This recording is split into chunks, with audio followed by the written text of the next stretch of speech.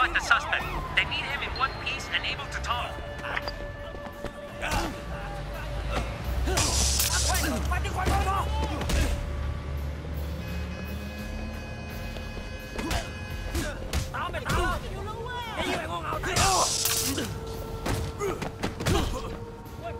He's done. Got him in custody.